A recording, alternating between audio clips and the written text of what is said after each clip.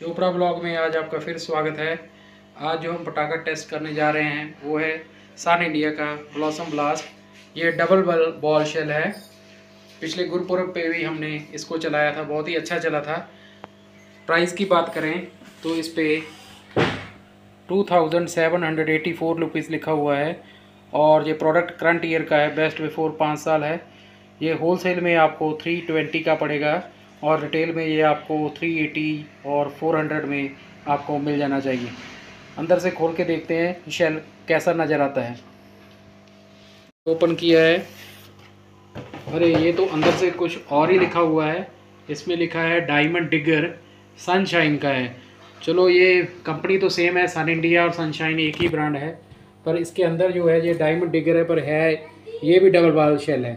चलो, इसको टेस्ट करके देखते हैं, ये कैसा चलता है। ड्राइवर्स आज करवा चौथ है, जब चंद्रमा निकलेगा, तब इसको हम टेस्ट करेंगे। थोड़ी देर अभी वेट करना पड़ेगा। चंद्रमा आ चुका है, अर्घ वगैरह हम दे चुके हैं। चलो अब हम टेस्ट करते हैं ब्लॉसम ब्लास्ट को। लगा दिए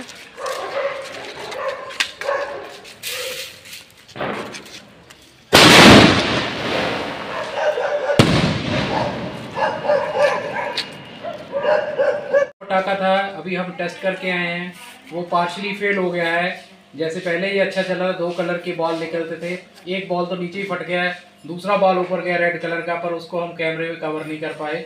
चलो नेक्स्ट वीडियो में मिलते हैं। Thank you